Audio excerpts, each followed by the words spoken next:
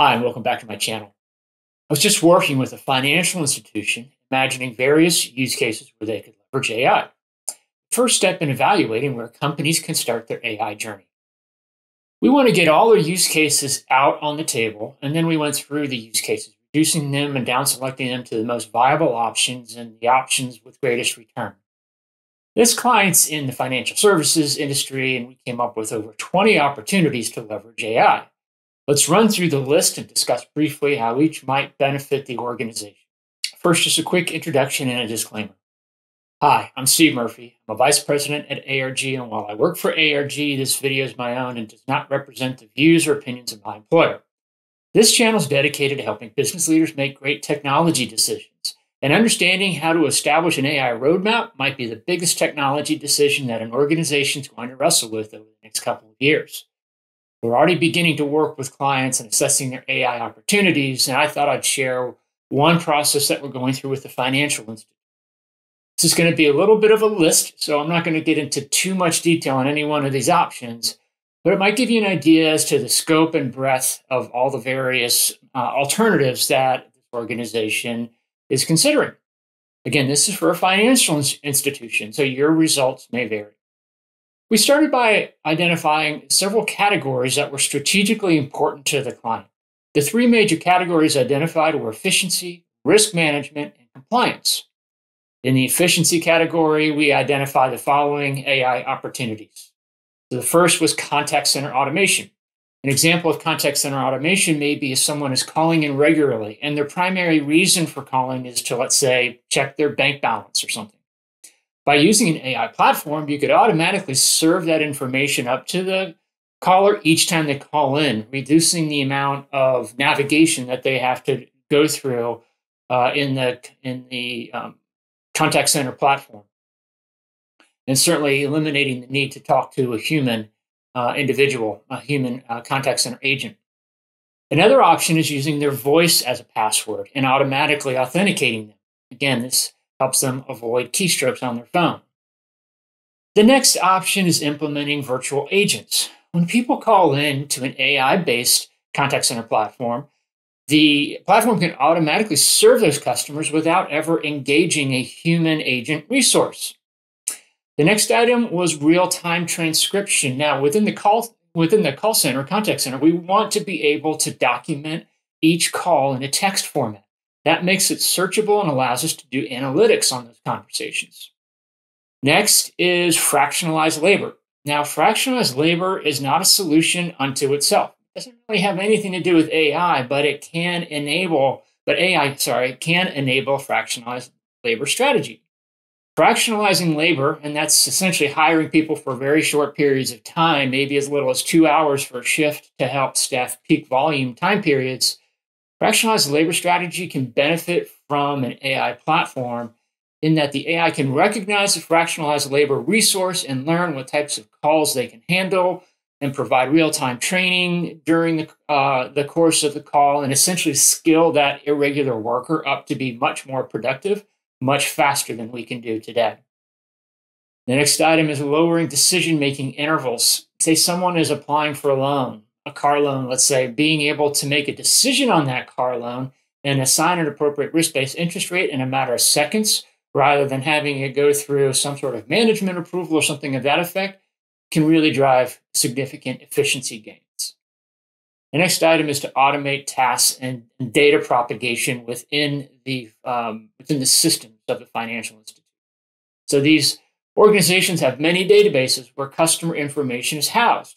It would improve efficiency if that information could be propagated through the various systems automatically and intelligently as new data is brought into the customer's account. The last item under efficiency is digital advertising. In a marketing capacity, being able to use generative AI to create digital ads under a variety of different topics allows marketers to be much more strategic and test many different ad executions to determine the most beneficial ones for the organization. So those are the eight use cases in the efficiency category. Now we'll take a look at risk management. Well, we could use AI for credit assessments. So people are coming in and applying for various, various credit vehicles, like a, a credit card, and being able to assess them automatically and intelligently um, helps us manage our risk. Fraud detection and malicious transaction identification is next. The banks process thousands of transactions, sometimes millions of transactions daily. And being able to look at every one of those transactions and evaluate it and score it for potential risk or fraud would be an amazing opportunity for them to manage fraud risk. Market risk and portfolio management is the next item. So some banks keep loans they originate in a portfolio.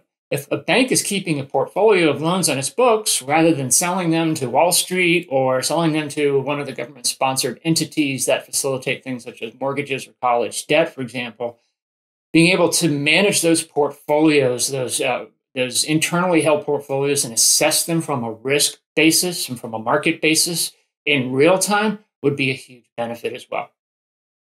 The next item is stress testing.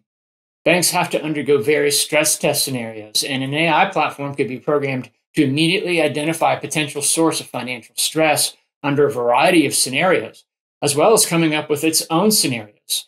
Essentially, rather than having the bank test a bunch of different uh, uh, different scenarios, the AI could inform the bank management as to which specific scenarios the bank would undergo various stressors, being more proactive, for example, than reactive. The next item is customer segmentation. Banks have many, many customers that pose different opportunities. Being able to segment those customers into different risk categories allows them to approach each customer interaction in a much more intelligent fashion. The last one in the risk management category is customer performance scoring. So evaluating customers in terms of the payment history, credit usage, bank interactions, etc., and by looking at a variety of products and services that the customer might consume from the bank, this allows the bank to approach their customer service in a much more intelligent and risk informed fashion. So that's the risk management category. The last category is compliance. This comes into some specific regulatory frameworks, such as Know Your Customer regulations that have just come out relatively recently, and those are aligned with the anti money laundering and counterterrorism regulations that we have here in the United States. You might have different frameworks if you're in another country, but almost every country has some sort of financial services regulatory compliance requirements that uh, the institution has to monitor, and that there's also reporting that goes along with those frameworks. So not only will the AI platform or AI solution help you apply, but it'll also help you generate the reporting artifacts that are required to demonstrate your compliance with the regulations. Next item is that compliance management. Um, so, how does the organization manage its risk with conjunction uh, or in conjunction with complying to these regulatory frameworks? Let's be real. All regulated uh, organizations take on certain risk with their compliance. AIs can help weigh the risks and be more systematic in identifying and minimizing the organization's exposure.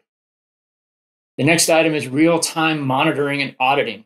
Monitoring is generally considered a real time activity, but auditing, auditing typically uh, happens after the fact, and it's based generally upon a sampling rather than being able to look at the entire universe of transactions. AI looks you, uh, AI allows you to look at all of those transactions, that entire universe at once in real time.